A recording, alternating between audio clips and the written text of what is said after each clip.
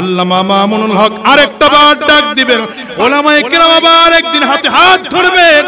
সেদিন আবার হয়তো তোমার আমার এই জমিনের মধ্যে আবার কুয়াকাটা হুজুর আরেকটা ডাক দিবেন। আবার আল্লামা খালেদ সাইফুল্লাহ আরেকটা বার ডাক দিবেন। আল্লামা মামুনুল হক আরেকটা বার ডাক দিবেন।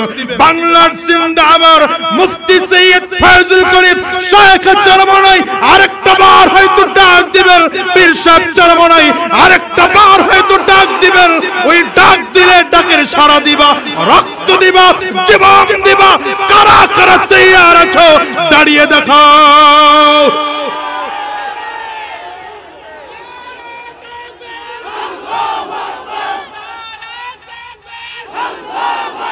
এই মুখে দাড়ি নাই, তোমার মাথায় নাই, তোমার কোরআন নাই। তুমি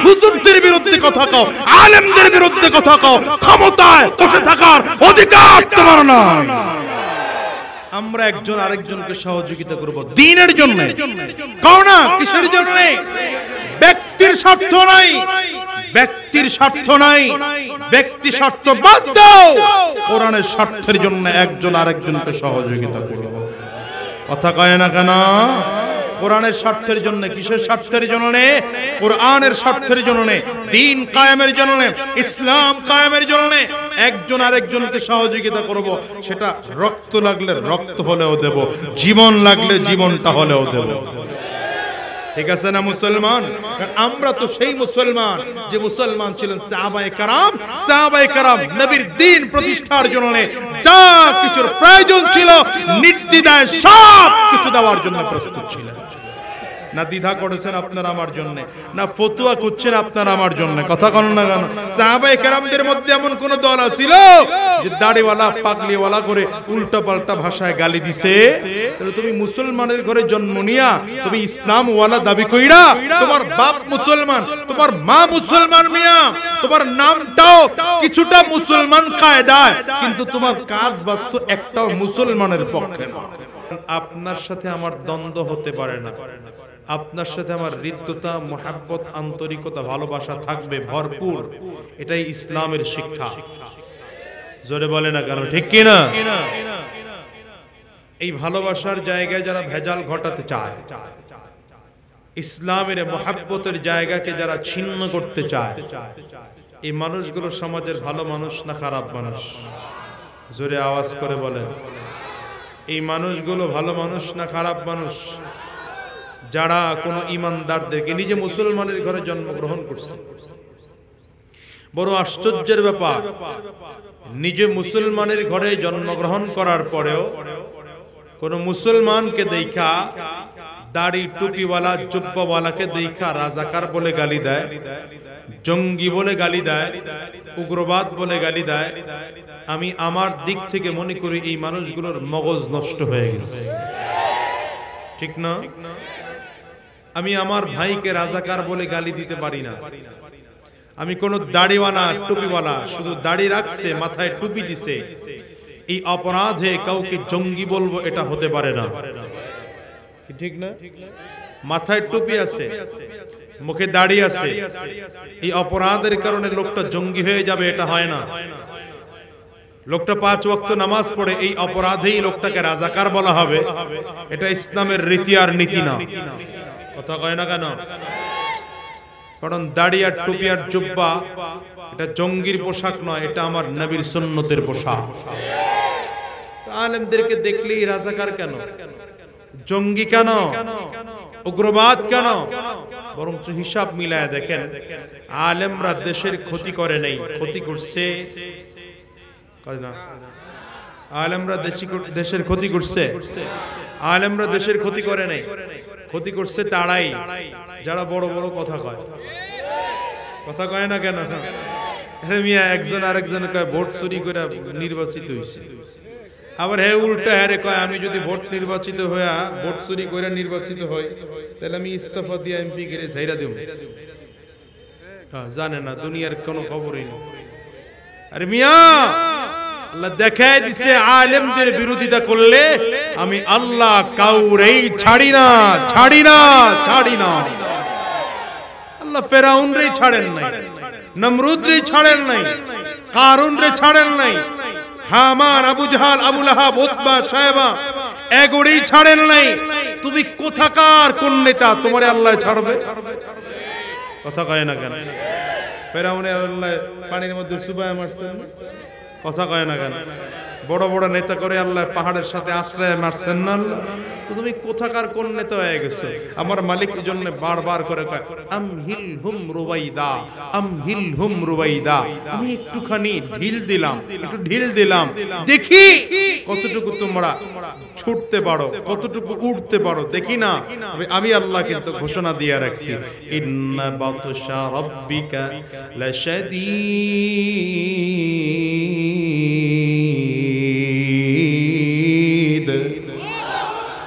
আমি আল্লাহর ধরাটা কিন্তু বড় শক্ত ধরা।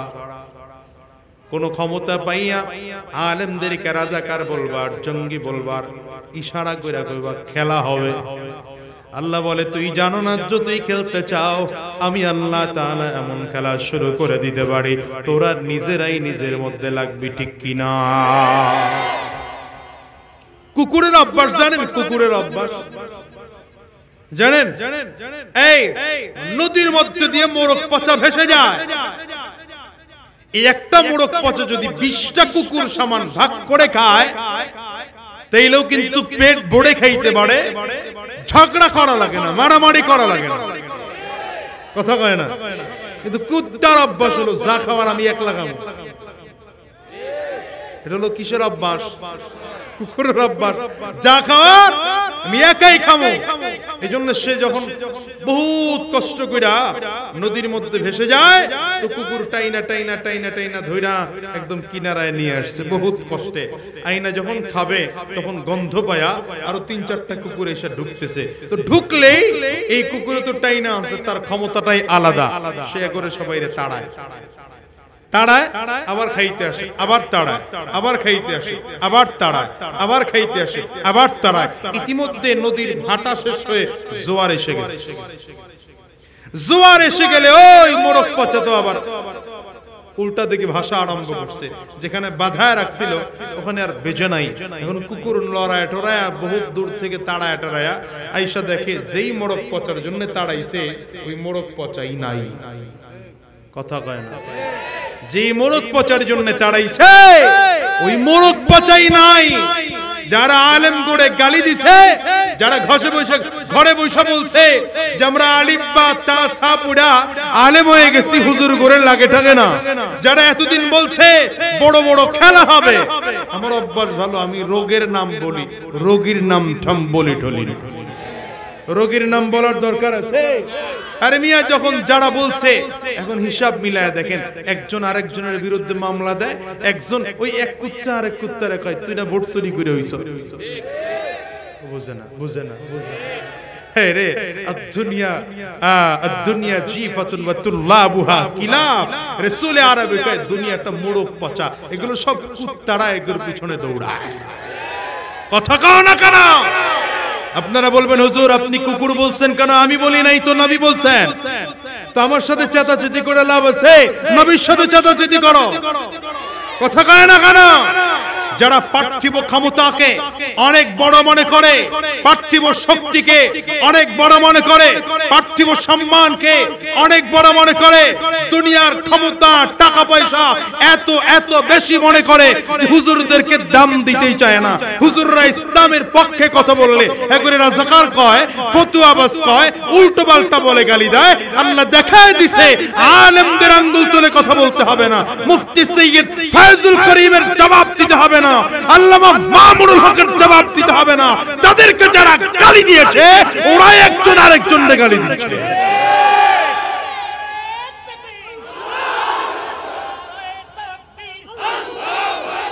এই, আমার সাথে রাগারাগি করে লাভ আছে। কন্যা, আমার সাথে রাগারাগি করে লাভ আছে। আমরা হুজুর করে স্লোগান দেওয়ার দরকার নাই। এখন এক কোণার থেকে আরেক কোণায় ফতুয়া দেয়, জুতা মারো তালে তালে। আপনার কাছে খবর টবর নাই মনে হয়? হ্যাঁ? আল্লাহর খেলা বুঝো নাই। ওয়ামাকারু অল্লাহ ওয়ামাকারু ওয়ামাকারাল্লাহ।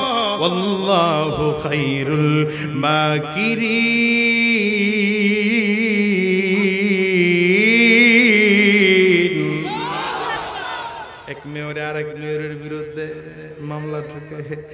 সব নিয়ে ব্যাংকে ঢুকেছে শুনতে বাইর কর।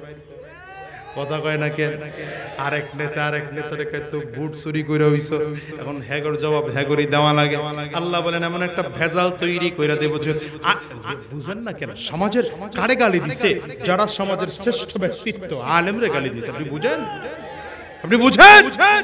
আল্লাহ তো সহজে ছেড়ে দিবে, আপনি বুঝেন? এখন কুকুরের মতো দৌড়াদৌড়ি করবা, হঠাৎ করে দেখবা কম দিন মোড়ক পচা, উল্টা জোরে ফেসা গেছে, সেদিন জুতা নিয়ে পালানোর সুযোগ থাকবে না এখন না ভাটির দিকে চলতেছে কারণে ক্ষমতা আছে, উল্টা দিকে দৌড় লইলে তখন হিসাব খুঁজে পাইবা। আর বেশি কম না, সময়ও কম। বেশি বলতে গেলে আপনারা আবার কইবেন যে হুজুরে খালি রাজনীতি করতে এসে। আমি রাজনীতি করি টরি না, আমি দুইটা কোরআনের কথা বলতে গিয়ে কোরআনের বিরুদ্ধে যেগুলো বলবে, ওগুলোর একটু হালকা, টুকটাক কোরআনের ভাষায় সাইজ করে বাস একটু দেওয়া লাগে। কথা কয় না কা আমাকে হুজুর করতো খালি দোষ। আমরা জোরে কথা কই এই জন্য আমরা রাজাকার। আমরা উগ্রবাদ, আমরা আল বদর আমরা আল কায়দা মুসলমান না। হুজুররা রাজাকার না। দুই একটাই আমরা হুজুররা জোরে কথা কই। সত্যের পক্ষে কথা কই ঠিক না? সত্যের পক্ষে গান গাই বলে আমি বিদ্রোহী সত্যের পথে ডাকি বলে আমি বিপ্লবী। কোরআনের কথা বলি, তাই বলে আমাকে মৌলবাদী। কোরআনের কথা বলি, তাই বলে আমাকে উগ্রবাদী। জিহাদের কথা বলি, তাই বলে আমাকে জঙ্গিবাদী। আমি বিদ্রোহী বিদ্রোহী, বিপ্লবী, মৌলবাদী। কেন জঙ্গিবাদী? বিদ্রোহী, বিপ্লবী, মৌলবাদী। কেন জঙ্গিবাদী? ঠিক কিনা? জন্মের পরে কানে আজান কি দেয়নি? তুমি মৌলবাদী ছাড়া হওনি। আর মিয়া তোমার তো ডান কানে আজান দেওয়া হয়েছে তোমার তো বাম কানে একামত দেওয়া হয়েছে মিয়া। তুমিও তো মৌলবাদ। যদি আজানের একামত দেওয়া না হয়, তখন অপেক্ষা করো, সামনে জানাজা আছে। তখন হুজুর গোরে লাগবেই। যতই কেউ আমরাও পারি। কতটুকু পারো, ওটা আমিও জানি, পাবলিকও জানি। কথা কয় না। জোহরের ইমামতি সবাই পারে আসরের ইমামতি যেগুলোর কেরাত ফেরাত লাগে না ওগুলোর ইমামতি সবাই পারে। মাগরিব আর আর ফজরের ইমামতি দিলে বোঝা যায় কার ঠেলা কদ্দু কথা কয় না কেন? সামনের ওয়াল ভাঙ্গা থাকলে তো কথাই নাই আর ভাঙ্গা না থাকলে ভাঙ্গা দৌড়াবে কোন সময়? ওই খবর খুঁজে হ্যাঁ, বুঝেন নাই বুঝেন নাই মনে। হ্যাঁ একবার আবার ইমাম বানায়, কারা বানায় জানেন? যেই মুসল্লিরা একেবারে একেবারে এত লোক যে ওই ইমামের ভুল ধরারও কায়দা নাই। হেরা আবার ইমাম আমরা আলেমরা তাদেরকে ইমাম বানাতে পারি না। যদি কেউ আমাদের সামনে দাঁড়িয়ে নেতৃত্ব দিতে চায়, ওদেরকে পেছনে টেনে আনতে হবে। ঠিক না? রাগ করতেছেন মনে হয়। মেজাজ খারাপ হয়ে গেছে কে বুঝি আজাদি ভাইরে এতদিন খুব মোহাব্বত করতাম। এই কথাটার পরে আর মোহাব্বত করতে পারি না। হ্যাঁ আমাকে নেতৃত্ব ছিনে নিতে চাই এখানে। আই মিয়া তুমি সুন্নাহ অনুযায়ী চলো না। তোমার মুখে দাড়ি নাই তোমার মাথায় টুপি নাই তোমার কোরআন নাই। তুমি হুজুরদের বিরুদ্ধে কথা কও আলেমদের বিরুদ্ধে কথা কও। ক্ষমতায় বসে থাকার অধিকার তোমার নাই। ঠিক এখানে কইলেন। বের হয়ে গিয়ে তো কইবেন আর চিনি টিনি না আপনার এখানে যা কইবেন বাইরে গিয়ে একই কথা কইবেন ঠিক আছে তো? তাআওয়ানু আলাল বিররি ওয়াত তাকওয়া তাআওয়ানু আলাল ইসমি ওয়াল উদওয়ান কার কথা? একটু আঙ্গুলটা উঁচা করে, জোরে আওয়াজ দিয়ে বলেন। পরে একজন আরেকজনকে দিনের কাজে, নেকের কাজে, একজন আরেকজনকে সহযোগিতা করো, সাবধান। ওয়ালা তাআওয়ানু আলাল ইসমি ওয়াল উদওয়ান গুনাহের কাজে একজন আরেকজনকে সহযোগিতা করো না। মাওলা পাকের হুকুমের অমান্য হবে হুকুমের সীমা লঙ্ঘন হবে। এমন কাজে একজন আরেকজনকে আম, তুমি কোনোদিন সহযোগিতা করো না।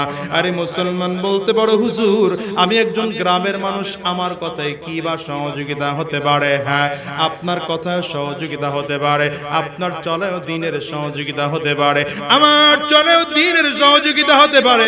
আমার অবস্থান থেকে আজকে দৃঢ় প্রতিজ্ঞা নিয়ে বিদায় হতে হবে। আমার অবস্থান থেকে আমি কোনোদিন দিনের বিরুদ্ধে চলে যাব না। বরং আমার অবস্থান থেকে আমি দিনের পক্ষে কাজ করব, কথা গায় না কেন? পয়গম্বর ইব্রাহিম আলাইহিস সালাতু ওয়াস সালামকে নমরুদ যখন আগুনের মধ্যে ফেলাইছে, দাউ দাউ করে আগুনগুলো জ্বলে, ভেতরে কি খবর? মালিক ছাড়া আর পয়গম্বর ইব্রাহিম ছাড়া কেউ জানে না। চারিদিকে মানুষের কান্নার একটা ছোট্ট কবুতর বারবার করে পানির মধ্যে গিয়ে ডুব দেয়। ঠোঁটের মধ্যে এক ফোঁটা, দুই ফোঁটা করে পানি নেয়। আবার এনে আগুনের মধ্যে ফেলে, আবার পানির মধ্যে যায়। এই ঠোঁটে এক ফোঁটা, দুই ফোঁটা করে পানি নেয়, আবার এনে আগুনের মধ্যে ফেলে। বলেন তো, একটা কবুতর ঠোঁটের মধ্যে কত পানি নিতে পারে? একদম সামান্য পরিমাণ। প্রচণ্ড কম পানি নিতে পারে একটা কবুতর। বারবার করে গিয়া পানির মধ্যে ডুব দেয়, পানি নেয়, আবার এনে আগুনের মধ্যে ফালায়। আহারে, পয়গম্বর ইব্রাহিম ওয়াসসালাম জি আগুনের মধ্যে পড়েছে সে আগুনের মধ্যে বার বার করে পানিটা ফালায়। কবুতর বুঝাইতে চায় মাওলাই করিম তোমার কুদরতি চক্ষু দিয়া নজর দিয়া দেখো। তুমি তোমার কুদরতি চক্ষু দিয়া নজর দিয়ে দেখো। যেই দিন তোমার পয়গম্বর ইব্রাহিম আলাইহিস সালাতু ওয়াসসালামকে জামানার দুশমন, ইসলামের দুশমন, মানবতার দুশমন নমরুদ যেদিন আগুনের মধ্যে ফেলেছিল। আমি ছোট্ট কবুতর, যদিও আমার শক্তি খুব কম, আমার ক্ষমতা যদিও খুব কম, কিন্তু আমার জায়গা থেকে আমি এক ফোঁটা পানি ফালাইয়া হইল। আমি জানি আমার আগুনে আমার পানিতে আগুন নিববে না। কিন্তু আমি আমার মাওলারে দেখাইতে চাই, আল্লাহ। আমি নমরুদের পক্ষে না, আমি তোমার নবীর পক্ষে ঠিক কিনা? আপনার কাছেও যদি কেউ দিন নিয়ে সামনে হাজির হয়, কোরআন নিয়ে যদি কেউ হাজির হয়, ওই মানুষটাকে বিশাল কিছু করে দিতে না পারলেও একটা ফোঁটা পানি হলেও দিয়া নিজের একটা শরীরের একটা ফোঁটা রক্ত দিয়ে হলেও, একটুখানি কথা বলে হলেও তাকে দিনের জন্য সহযোগিতা করো। লাভটা কি জানো? একটাই মাত্র লাভ, সে পাস করুক আর ফেল করুক, আমার মালিকরে বইলা বুঝাইতে পারবা। ও মাওলা তোমার একজন বান্দা দিনের জন্য এসেছিল, কোরআনের জন্য এসেছিল। ওলামায়ে কেরাম বাংলার জমিনে ইসলাম কায়েম করার জন্য মেহনত করেছিল। আমরাও ওলামায়ে কেরামদের সাথে ছিলাম। প্রয়োজনে আমরা রক্ত দিয়েছি। আমরা জীবন দেওয়ার জন্য তৈয়ার ছিলাম। আমি হয়তো ইসলাম কায়েম করতে পারি নাই, কিন্তু আমরা দিনের বিরুদ্ধে ছিলাম না, তোমার দিনের পক্ষে ছিলাম। ঠিক কিনা জোরে মুসলমানি বাংলার জমিনে অপেক্ষা করো অপেক্ষা করো। আজ হোক, কাল হোক, ওলামায়ে কেরাম একদিন ডাক দিবেনই দিবেন। কথা বলেন না কেন?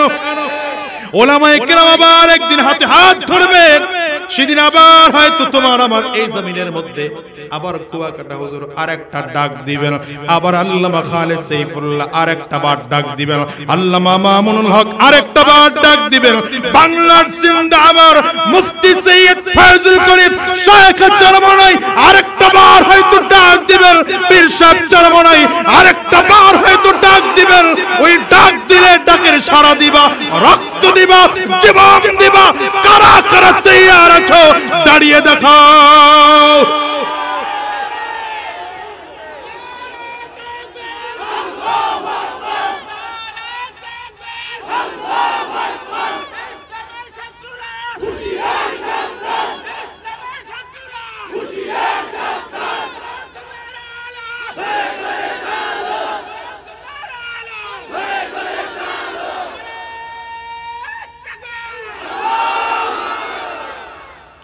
কষ্ট হচ্ছে, অসুবিধা হচ্ছে, আমরা একজন আরেকজনকে সহযোগিতা করব দিনের জন্য।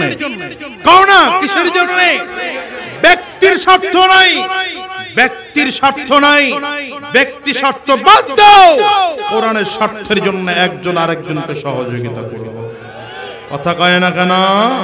কোরআনের স্বার্থের জন্য কিসের স্বার্থের জন্য কোরআনের স্বার্থের জন্য দিন কায়েমের জন্য ইসলাম কায়েমের জন্য একজন আরেকজনকে সহযোগিতা করব, সেটা রক্ত লাগলে রক্ত হলেও দেব, জীবন লাগলে জীবনটা হলেও দেব। ঠিক আছে না মুসলমান? আমরা তো সেই মুসলমান যে মুসলমান ছিলেন সাহাবায়ে কারাম সাহাবায়ে কারাম নবীর দিন প্রতিষ্ঠার জন্য যা কিছুর প্রয়োজন ছিল নির্দিদায় সব কিছু দেওয়ার জন্য প্রস্তুত ছিলেন। না দ্বিধা করেছেন আপনারা আমার জন্য, না ফতুয়া করছেন আপনারা আমার জন্য, কথা কন না কেন? সাহাবায়ে কেরামদের মধ্যে এমন কোন দল আছিল যে দাড়িওয়ালা, পাগলিওয়ালা করে উল্টা পাল্টা ভাষায় গালি দিছে?